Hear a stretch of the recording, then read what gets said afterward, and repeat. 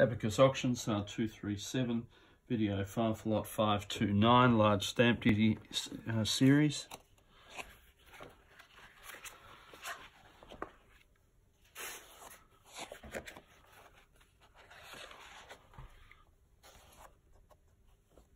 Fiscal. In fact, it's a 20th century issue, Perf 11. Fiscal.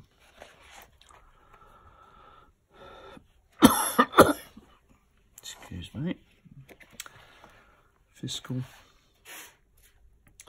and some of the others are doubtful. Fiscal, that's doubtful. That's English mail TPO and 10 shillings, almost certainly the forgery. And then these five are CTO.